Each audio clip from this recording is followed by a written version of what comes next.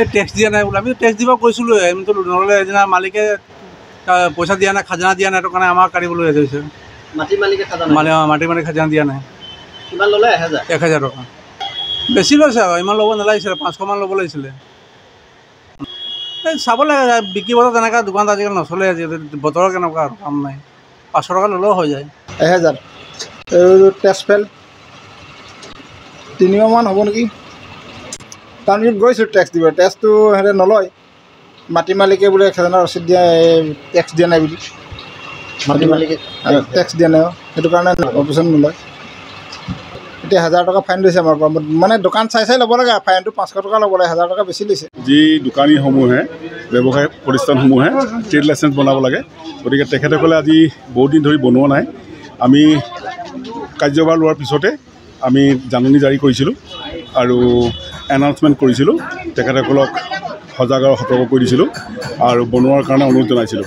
কিন্তু দেখিবলৈ পাইছোঁ আমি কাৰ্যভাৰ লোৱাৰ আজি ছমাহ পাৰ হৈ গ'ল। তেখেতসকলে যি ট্ৰেড লাইচেঞ্চ থাকিব লাগে ট্ৰেড লাইচেঞ্চসমূহ বনোৱা নাই। সেই গতিকে আমি বৰ্ডে সিদ্ধান্ত গ্ৰহণ কৰি আজি দোকানসমূহক ফাইন কৰাৰ ব্যৱস্থা কৰিছোঁ। কিমানখন দোকানত ফাইন আহ, আজি কম হিচাপে দহখন দোকানত কৰিছোঁ। আৰু আমি গধূলিলৈকে আমি এইটো ড্ৰাইভ কৰি থাকিম।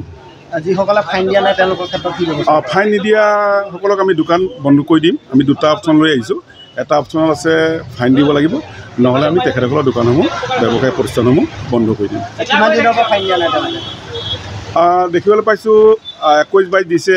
যিহেতু বাইছ হ'লে মাৰ্চত একত্ৰিছ মাৰ্চত সময় পাৰ হৈ যায়।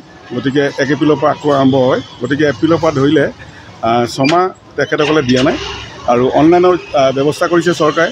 তেখেতসকলক জনাই দিয়া হৈছিলে যে অনলাইন ব্যৱস্থাৰ জৰিয়তে তেখেতসকলে লাইচেঞ্চ ল'ব পাৰিব।